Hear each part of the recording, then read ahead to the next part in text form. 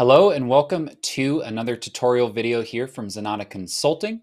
Uh, my name is Tyler Colt and this video is actually an excerpt from our full walkthrough of Zoho survey uh, that we recorded in October of 2022. Um, in this video, we'll be walking through some of the overview of the basic settings in Zoho surveys um, and how to actually add and customize your relevant fields. Um, if you do find this video useful, please be sure to like and subscribe down below. And if it sparks any questions or feedback, please be sure to leave those in the comment section as we do try to read and respond to every single one of those weekly on our podcast, The CRM Zen Show. Without any further ado, let's get right on into the tutorial.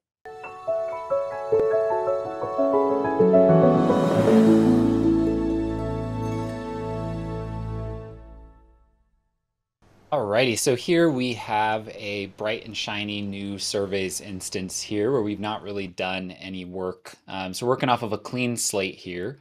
Um, on this first little page, again, like Brett mentioned, there's not a lot of like deep, deep settings for surveys as a whole. Um, really, a lot of the settings management that you do is going to be specific to a given survey. Um, a couple quick things just to make sure when you're on this page. Uh, surveys is a little notorious for being too easy to spin up your own department. So if you have a lot of people who are working in survey, make sure to get them all permissioned properly before they ever try to access the application. Again, not the end of the world if someone spins up a department of their own, but it surely makes life a lot easier if they all just get assigned to your primary account right out of the gate. Um, up here at the top, right, similar to most of the Zoho applications, you have your little icon menu where you can jump into the account management, any portals you have, and some basic setup for the application. So I'll kind of show this just really quickly here. Um, really, the, the top level settings that are across the entire application just involve things like any users you want to have. Um, if you want to white label any surveys and kind of host them on your own domain, right? So if you wanted like a feedback.zenatta.com. You would do that through here. Uh, domain authentication, obviously, if you're going to be sending these out through Zoho surveys, um, you'll want to make sure that you have your domain authenticated. Most of the time, though, you're going to send these from CRM or from, you know, maybe Zoho campaigns. So not too big of a deal, but if you are going to deliver them natively through here, you'll want to make sure you've got that set up. There are kind of a variety of integrations as well to the various other Zoho applications. Big one, of course, is going to be Zoho CRM. Um, but other ones that I'll highlight, right, is you can have all of your survey data right to a Zoho sheet. Um, won't go down a rabbit hole, but it's actually not a bad idea. It's much easier to report on if you have it do this rather than using the default data. Um, you know, triggering deluge functions after a survey has been submitted, and then of course offering up surveys through Sales IQ.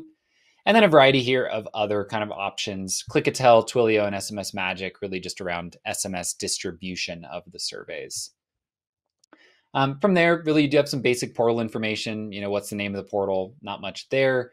And then some audit logs if you do need to see what's been happening in the system, right? You can come in here and get that as a top down view. Um, under the department setup, again, I'll skip department users. It's really just setting up your users there. And then here you can go ahead and create different roles and permission sets for these departments.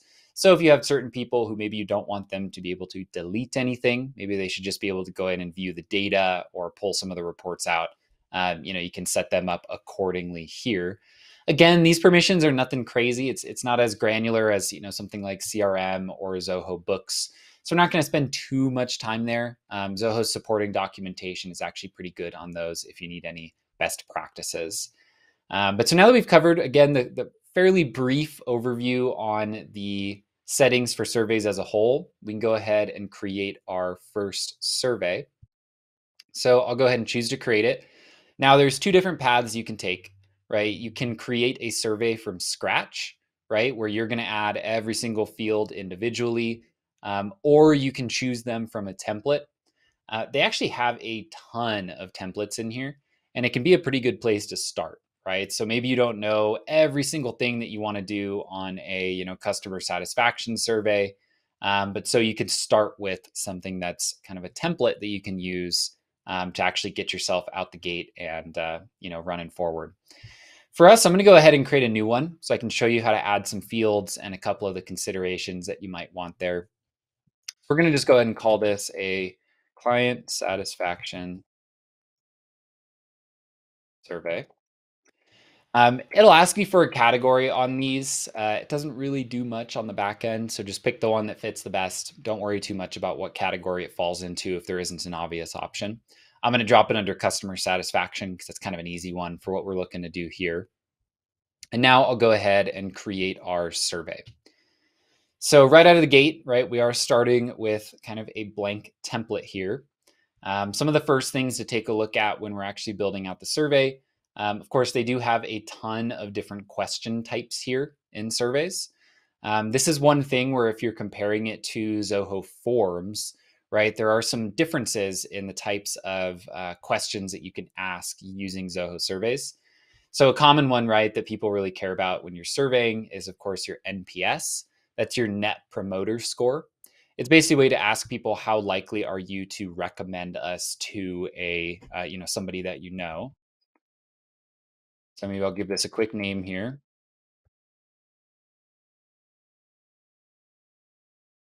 And uh, I'm not the English major between Brett and I, so my spelling here needs a little bit of work. Um, within this question, you can actually ask it with uh, rich text as well. So if you wanted to embed any images or even videos that you want to include to kind of contextualize some of the questions that you're asking, you can surely do that. Um, you can choose whether or not to make it mandatory.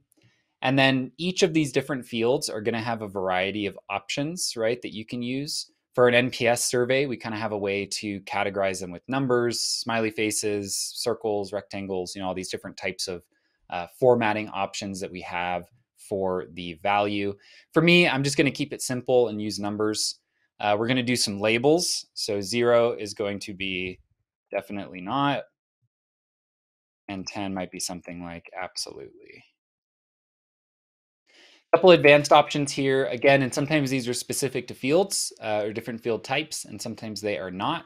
Um, so if you wanted to have a default answer, maybe I want to pre-populate it with 10 because you know we rock and everyone recommend us. Um, most of the time for things like this, don't pre-populate stuff because people are just going to leave it. Um, you can actually add an optional comment section as well as a hint, which is kind of like the tooltip, right? So if you wanted to give them a little bit more context of what you're looking for, you can do that here as well. I'm going to go ahead and save this for now.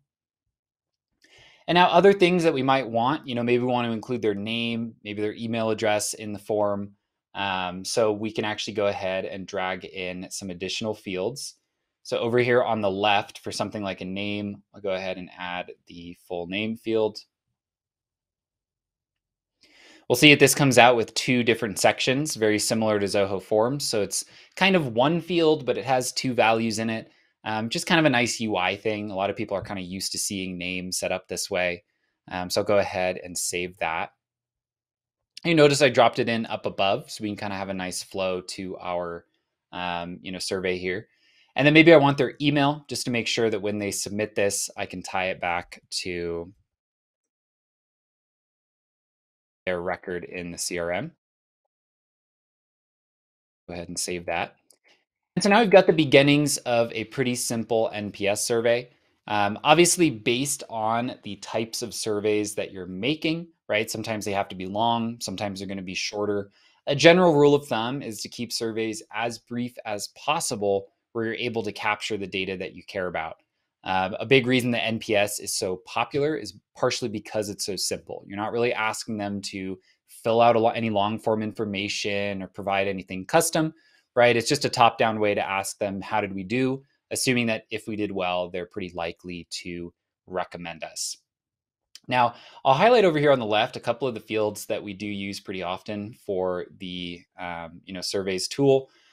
Multiple choice and drop downs, right? These are pretty important ones. If you want to give people a choice from a select list, um, the trick is to make sure that you use the right one. Some of them allow for people to choose more than one with these many answers and some uh, only allow them to choose one. So just be cognizant when you are doing those around, you know, which way you want to go. Should they be able to include more than one option or not? Can actually give them image selections as well. It's kind of an interesting one we've used in the past for, you know, here's two design options. Pick the one that looks better for you. Um, scrolling down, of course, NPS is really important, uh, an important one to keep in mind. Booleans, right? So quick check boxes. Do you opt in for this type of communication? You could use something like that. Matrix choices allow you to essentially give them a grid and let them pick from throughout it. We're not going to go too granular on that right now. That could, you know, if we go too deep on these, it'll uh, it'll take our whole uh, session here. Um, and then lastly, down at the bottom, you can actually allow them to upload files as well as sign off on the survey. I will highlight this is not like a Zoho sign or DocuSign substitute. This is like a very basic approval signature, but don't send like a contract through Zoho Survey and have them sign it. Uh, you could find yourself in hot water just because it's not up to snuff with all of the compliance required for a true digital signing, um, you know, functionality. So now that we've added just a handful of fields here, um, we're going to jump over to our settings and just cover some of the basic ones that we'll want to have in mind as we're getting our survey set up. Um, so again, through here, we can drop in a logo if we'd like to. So maybe we want to add our Zenatta logo, or maybe we want to add a logo specific to the survey if you have one in mind. Um, footer, pretty similar, right? So we can actually set up any custom footer information here. Thanks for taking our survey. just drop this right in there. Give it a save. Um, down the line here, a couple other settings. We won't take too long on these. Um, we can actually show a progress bar as they're working through the survey. If it is long, highly recommend that you do that. For something like a quick NPS survey, you don't want to clutter the screen. Um, but if you're asking 20, 30 questions, definitely want to include something like that. Question numbers, pretty similar. Good for long surveys, not necessary for short ones. Can actually enable CAPTCHA through here. We're not going to do this for this session here, but it actually does a like a Zoho version of a CAPTCHA. Um, and then this kind of a nice one, skip the first page if all questions are pre-populated. Um, I'll show you what pre-populating looks like in surveys in a little bit, but a lot of the times if you're sending from CRM, you'll wanna have that enabled and then break out some of your content accordingly. Basic stuff like renaming your buttons lives in here as well. Um, I'm gonna skip these next ones real quick. I mean, languages, right? We can choose different languages. Introduction page would be if you wanted to have kind of like a landing page for your survey. You know, so the following survey is going to ask you questions around A, B, and C. You know, we appreciate you giving us your honest feedback and so on and so forth. If you wanted a kind of landing page view when someone drops into the survey, terms and conditions, you know, pretty self explanatory. You can actually put a timer on here. Um, you know, Brett and I actually saw a long time ago uh, something that Zoho built from within surveys around kind of like courses and quizzes using this timer feature, and it's actually pretty cool. Um, so you can actually manage how much time is spent on each of the pages and track and make sure that you know, hey, people are taking really long on page two of this. Like, what's going on that's that's kind of catching them up on that page. Save and continue later can also be set up here. And then we can define, you know, what the end page looks like, what the disqualification page, should they be able to edit responses later, you know, where should they drop off once they've completed the survey and all those kind of basic configurations that you would expect. Again, if you use Zoho Forms, a lot of this stuff is pretty similar on that side. Next little section here, we're really not going to dig into because, you know, design, we could take a whole hour and really dive into all these settings. Um, but you can actually create custom themes for your surveys. Um, you can pull them from a variety of default themes, or you can actually go ahead and create your own. Um, again, we're not going to go too deep on this, but it's kind of your standard editor. Change the fonts, change the spacing of things, um, you know, change any of the color coding that you'd like to adjust um, on your survey. Um, and then Hub, just to do a little teaser. This is where we're to circle back around to here in a moment. Um, but within Hub, you can actually do some of those integrations that we talked about, some of our triggers, right? So that we're able to trigger emails or custom functions or post webhooks externally, right? So if you want to send this data somewhere outside of Zoho, you could do that through here. And then you can also do some on-page tracking on, you know, where people are landing on the survey from, as well as how they're making or how they're interacting with the page um, via some of these tracking tools. But so really, again, the, the, the core customization of the survey does not need to be anything crazy, right? You're going to go ahead and create your survey. You're going to drop in any fields that you need. Um, always a good idea to do a little preview as you go, just to take a look at what things look like. So here I've dropped in my previous or preview section here. We can see all of our fields. We see the little footer that we added down at the bottom there. We can look at it on a variety of different devices. just to make sure that the spacing and sizing of everything looks good, regardless of how somebody is looking at it. Um, more and more people nowadays are using their phones or tablets to interact with surveys like this. So, always a good idea to make sure that it's not going to look too bad on one of those devices.